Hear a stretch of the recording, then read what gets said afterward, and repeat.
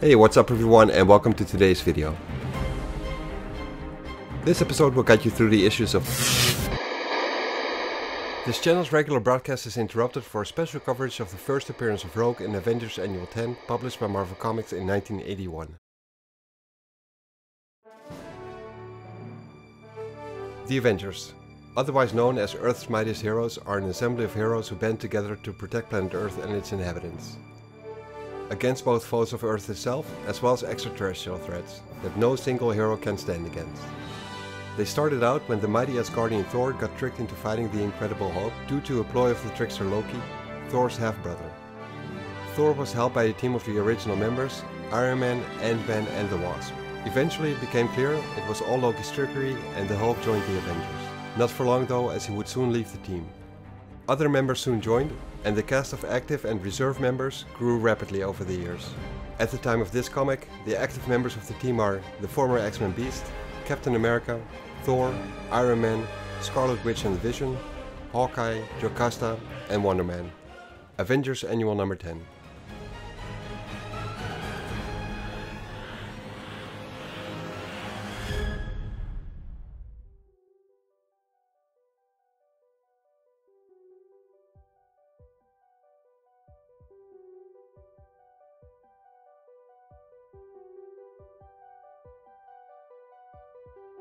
Welcome to San Francisco, America's gateway to the Pacific, home of the Golden Gate Bridge. Apart from it being a tourist attraction, sadly it has been chosen by many people over the years as the place to end their lives prematurely. But once in a while, someone gets pushed. In this case, it's a young blonde woman. Luckily she never reaches the water because Jessica Drew, the superhero known as Spider-Woman, is there to catch her and save her. Or at least she tries to. Relying on winds to glide on with web-like wings under her arms and carrying the extra weight, she plummets down into the water as the winds die down. In a desperate attempt, she turns her body towards the water, making sure it's she who catches the brunt of the impact. The water is ice cold, and she worries about the effect the temperature will have on the victim whom she's carrying along with her through the water as she tries to make her way to the shore. It's quite the distance to the shore, either way, but Jessica Drew makes a valiant effort, and the thought of having to abandon the blonde-haired woman never enters her mind, regardless of how hard the struggle it will be. Once the sun comes up, Jessica is waiting for a lieutenant of the San Francisco Police Department to show up in the hospital she brought the blonde woman to. The lieutenant shows up in the lobby, where a young girl exits the hospital. Jessica tells the lieutenant that she's about to hear about the victim's status from the doctors, but it's somewhat disturbing news. The lieutenant herself has some news as well, as they were able to dig up some info about the woman thanks to the fingerprints they received. The doctor tells a worried Spider-Woman that the lady will live and that there's nothing physically wrong with her, but as far as she can tell, her mind is non-existent. It seems to function at the level of a newborn infant. She suggests to contact all the mental institutions in the area, because she suspects that's where she came from, but the lieutenant has to correct her. The fingerprints belong to Carol Susan Jane Danvers, a US Air Force major of high standing. Last known residence, however, was in Greenwich Village, New York, and she apparently went missing about six months ago. Apparently Carol had been stripped of all form of identification, even down to the labels in her clothes. Her assailant clearly wanted to make her as anonymous and as untraceable as possible. They will need all the help they can get to get into the woman's mind and to try and find out what happened to her. And Jessica knows just who to get into contact with to get this done. Back to New York, to the Xavier School for Gifted Youngsters. Secretly the home of the mutant superheroes the Uncanny X-Men. The youngest mutant named Kitty Pryde answers Jessica's phone call and she tells her she will get the professor for her. He's currently at the Danger Room, repairing the observation booth with Nightcrawler and Storm. Kitty uses her powers to face through the walls of the booth to inform the professor, and Storm asks her who it is. Kitty tells Ororo it's Spider-Woman, and Kurt teleports inside of the Danger Room where Colossus and Wolverine, two other members of the X-Men, are tending to the machinery right there. A lot had been destroyed during a fight Kitty had with a demon inside a big part of the mansion, leaving a lot of chaos in its wake. Wolverine asks Kurt if he's sure everything will work again now as he's about to turn the power back on. They've been working on this since breakfast and Kurt is pretty sure it should all work again. He and Kitty checked everything three times over. Right before Kurt presses the buttons, the professor ends the call with Spider-Woman, agreeing that his special expertise could be of some help and he will see her in San Francisco this afternoon. The electronics short circuit and there's a big explosion in the booth. Luckily, Kitty isn't hurt, but apparently it's back to the drawing board.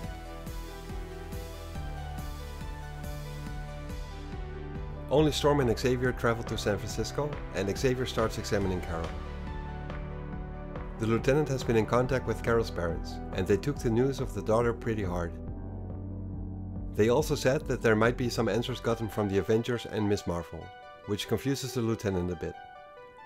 Considering the kind of unusual case this is, the lieutenant welcomes any form of help.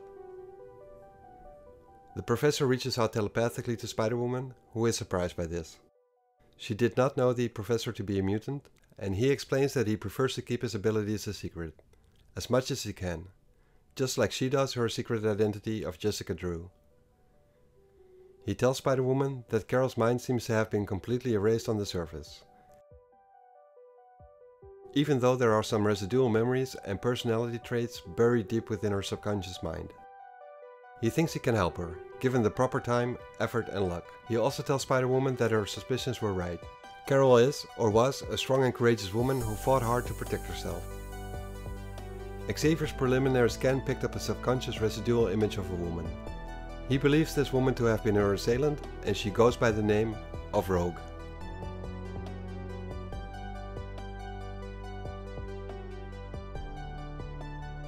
Captain America, the living legend of World War II, has seen better days. He's being attacked and brutally beaten in Central Park, New York. By the exact same woman Carol Danvers had been last night. And with Rogue now having absorbed Miss Marvel's powers, Captain America never really had a chance. Moreover, not only does Rogue possess Miss Marvel's powers, but also her memories, resulting in her knowing what to expect in a fight with her teammate. She kisses the unconscious captain on the lips, thereby making sure that she absorbs his powers as well. But this time around, unlike with Carol Danvers, she will make sure it won't be too long, because somehow the absorption of Carol's powers and memories turned out to be permanent. At the same time, not too far away, as a matter of fact pretty close by, Captain America's teammates the Avengers are having their weekly team meeting. The remaining members are having some chit chat, while Jarvis the butler is pouring drinks and serving them food. Beast is wondering what their team leader is, since it's unlike him to not be there on time. At that exact moment, as if on cue, the seemingly lifeless body of Captain America is being thrown through one of the windows of the room they're all in. Some of the members immediately tend to him, while some of the other members rush out to see if they can find anyone responsible for this. At the headquarters of Stark International, we find Tony Stark who's working on his Iron Man armor when the Avengers priority alarm goes off. He already had told the team's leader that he would not be present at today's scheduled meeting and they wouldn't call him unless things were deadly serious. The other members do not know Tony Stark is the one inside the Iron Man armor as their teammate, so he uses his high-tech machinery to make a projection of him wearing the suit as he answers the call. He soon finds out how serious the situation is exactly, as Jarvis informs him of the attack on Captain America. Iron Man will make sure that him and Dr. Blake will be there soon. The Vision returns and reports in, telling everyone that he searched the surroundings and Central Park, but he could not find anything suspicious. As Tony Stark puts on his armor and is getting ready to leave for the mansion, his assistant tells him he has a visitor. He then tells his assistant to cancel all his appointments but to send a visitor in, who is Janet Van Dyne, the former Avenger by the codename of the Wasp. When she enters, she's surprised to find Iron Man there, and not Tony Stark. But he tells her he had to rush out, as will he. He tells his former teammate that he's happy she's here, and that they could use both her and her husband the Yellow Jacket's help. He tells her that Captain America has been attacked and is seriously hurt right now. She asks him if he's doing okay, and tells him that of course they will help, as she reaches inside of her purse. Iron Man tells her that it's way too soon to tell anything about Captain America's current state, as Janet put some kind of device on the back of his armor. He asks her what she's doing because he can't move anymore. Janet then tells him that this device renders all power systems completely dysfunctional, as he sees her change into a different person altogether right before his eyes. She mocks him as she tells him she is not Janet Van Dyne at all, but Mystique, the leader of the Brotherhood of Evil Mutants, and Captain America's attacker is her accomplice. She contacts Rogue through a transmitter and tells her to proceed with the plan, and she also tells Iron Man that her friends will never know what hit them.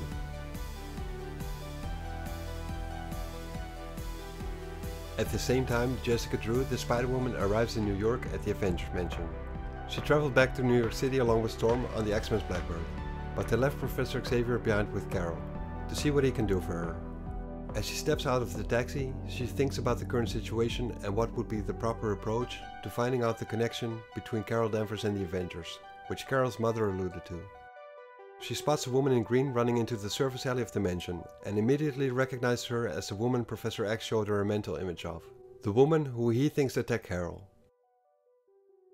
Behind the mansion, the Asgardian Avenger Thor arrives, landing and immediately changing into his alter ego of Dr. Donald Blake. He received the message from Tony Stark and knows that if Tony mentioned the situation with Captain America being a dire one, it most likely is. He has fought side by side with Cap many a times, and knows that he is not one to easily get hurt this bad. At this moment in time, the captain needs the physician Blake more than he needs his ally Thor. Once he is changed into Donald Blake, he gets struck from behind by Rogue. But as she takes off her glove, she herself is getting attacked from behind by Spider-Woman, who has been waiting to take revenge on Rogue for what she's done and tried to do to Carol. Spider-Woman's costume pretty much totally covers her body, much to Rogue's chagrin, since that way it won't be as easy to render her unconscious and steal her powers. She's able to push Spider-Woman off her, noticing how she hasn't been able to hit her due to her superhuman speed and agility. At the same time, Donald Blake is trying to reach his cane, in order to be able to tap it against the ground, which would trigger his transformation back into Thor. Eventually he is able to do so and grabs a hold of Rogue, not realizing that by doing so, he actually hands Rogue the chance to absorb his powers by touching his face and wrist. Spider-Woman sees this unfold and tries to stop it before the transfer of power has been completed. So she attacks Rogue with one of her Venom Blasts, a bioelectric bolt shooting from her fingertips. But sadly, it has no effect whatsoever.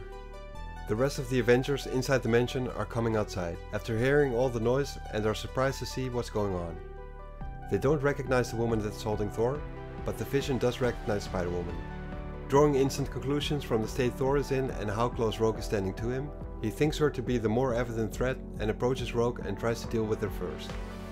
With the Vision being an android instead of a human, and Rogue being aware of this, she knows she can't use her powers on him. She knows she will have to destroy him and Mystique has told her exactly how he fights. She knows that he will try and use his density altering powers on her, so she uses Thor's body as some kind of shield between the two of them, which stops the Vision in his tracks, and then knocks him out, instantly, with one single punch. Next Wonder Man, Simon Williams attacks her.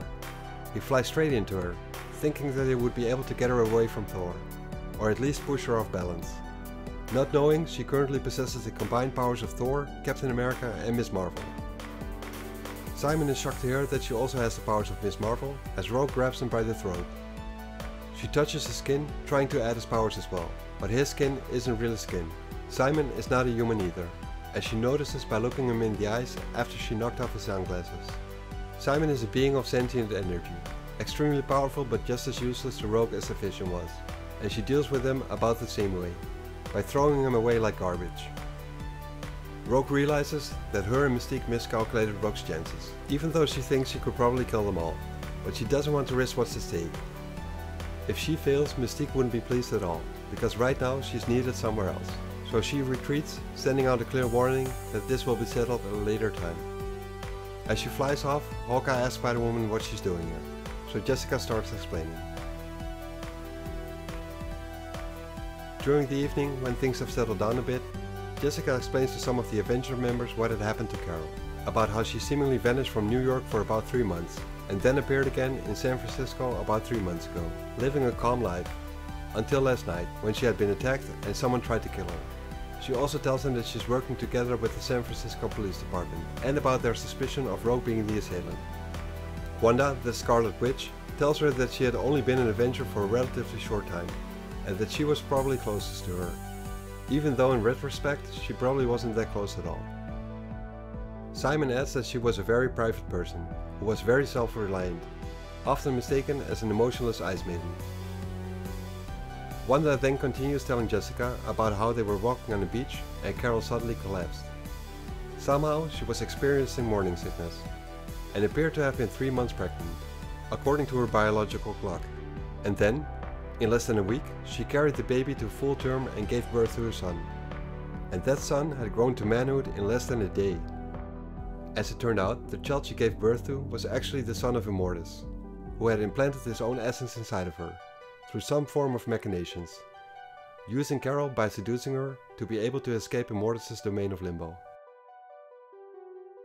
In the end, Marcus was still connected to the dimension of Limbo and this created a disruption in the local time stream, causing the Earth to be flooded with dinosaurs, spaceships and knights in armor and such. Marcus was building a machine in the meantime, which, as he said, would save the day but no one really trusted him. Everything happened so fast and Hawkeye chose to destroy the machine, which resulted in Marcus not being able to stay on Earth, and he had to return to Limbo. And Carol, having fallen in love with Marcus and vice versa, joined him and Thor helped create a dimensional rift between Earth and Limbo.